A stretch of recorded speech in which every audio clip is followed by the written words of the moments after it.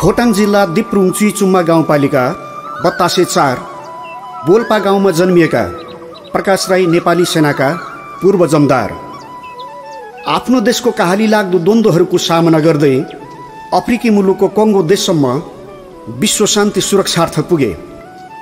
हाल अफगानिस्तान जस्तो देशमा सङ्घर्ष गरिरहे पनि आफ्नो देश आफू जन्मिएको गाउँ अनि बालापन बिताएका गोरेटो वनपाखा र पखेराहरूलाई पटक्कै भुल्न सकेनन्।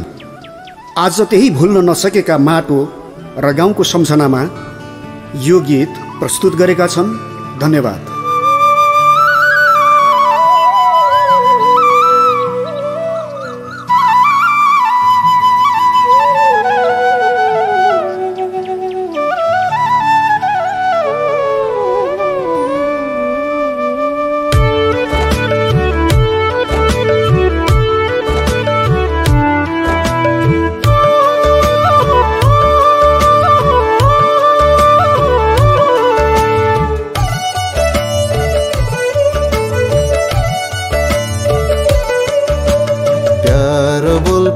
गाउँ प्यार बोल गाउँ प्यार बोल गाउँ हो प्यार बोल गाउँ सब सुर बुलकुले छेकेको मेरो बोल गाउँ सब सुर छे